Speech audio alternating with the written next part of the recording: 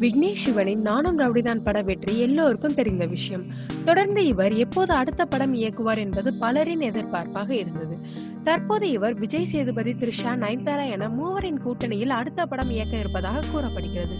அப்படத்திற்கு காத்து வாக்குல இரண்டு காதல் என்ற பெயர் வைத்துள்ளாராம்.